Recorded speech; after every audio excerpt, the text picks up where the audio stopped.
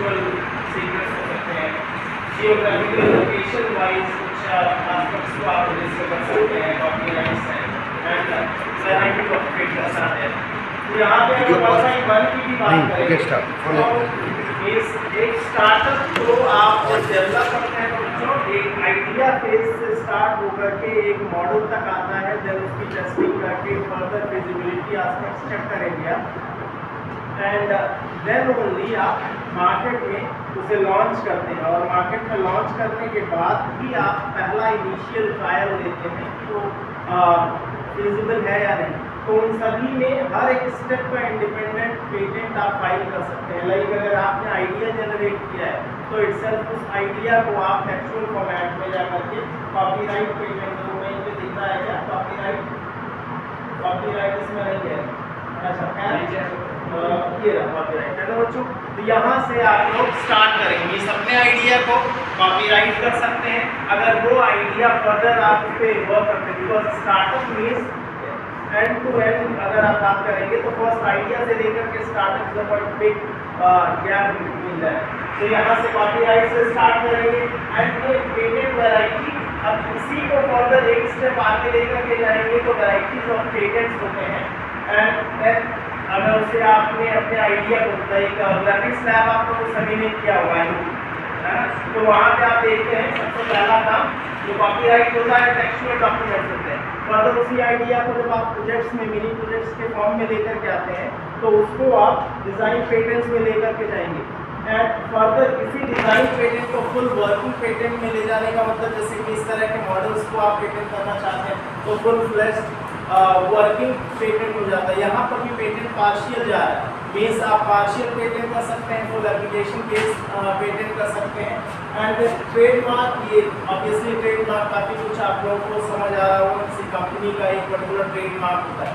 उस लोगों को भी आप रजिस्टर करते हैं ट्रेडमार्क लेआउट डिज़ाइन ये layout design copyright quite similar रहता है यहाँ पे and then trade secrets again ये trademarks and trade secrets are quite similar Uh, एक ये डिफरेंट टर्म आपको दिख रहा है जियोग्राफिकल इंडिकेशंस तो जियोग्राफी से समझ आ रहा होगा पर्टिकुलर लोकेशन बेस्ड अगर आप लाइक बासमती राइस का एग्ज़ाम्पल लेंगे तो बासमती राइस कहाँ पे होगी बच्चों को गैस है आपका?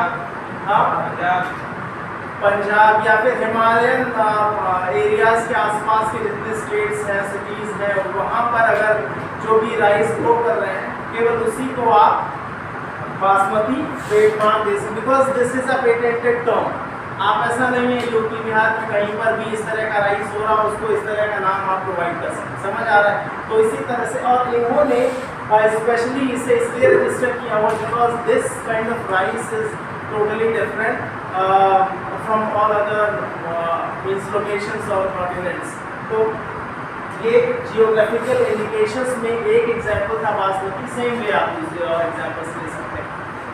वेल अगर uh, ये आइडिया तो आपको समझ आया कि किस तरह से पेटेंट की ओवरऑल जर्नी रहती है। मीन्स आप कुछ अपने आइडियाज़ को फाइनल स्टार्टअप तक लेकर के कितने स्टेप्स हो सकते हैं पेटेंट्स को कवर करने के लिए। मीन्स लेआउट से लेकर के कोई भी टेक्सचर डॉक्यूमेंट से लेकर के फाइनल प्रोडक्ट तक लेके आ सकते हैं।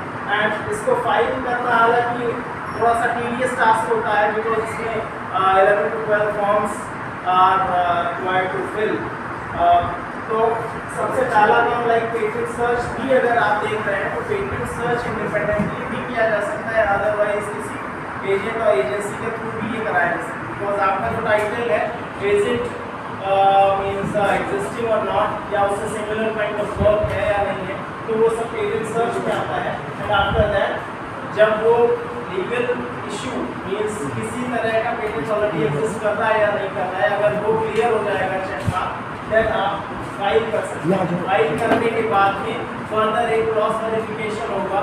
एंड देन जितने भी बेसिक पैरामीटर्स है लाइक विजिबिलिटी एस्पेक्ट्स हो गया एंड डिज़ाइन एंड बाकी डिटेल्स क्लियर होने के बाद में बेसिकली इसे पब्लिश किया जाता है। पब्लिश करने के बाद में भी अगर वर्ल्ड वाइड या फिर बाकी किसी और एजेंसी के द्वारा अप्रोच नहीं किया जाएगा और आप उसे ग्रांट के लिए अप्रोच करेंगे जनरली वो ग्रांट भी हो जाएगा।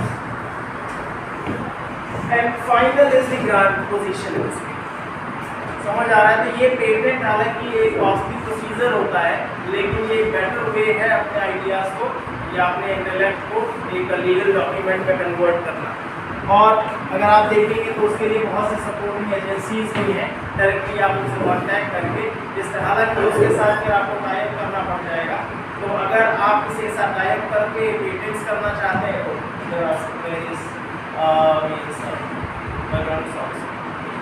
ओके सो आई होप आप लोग अपने आइडियाज़ को सामने लेकर के आइए और उसे पेटेंट कीजिए बिकॉज़ पेटेंट करना means legal property yes okay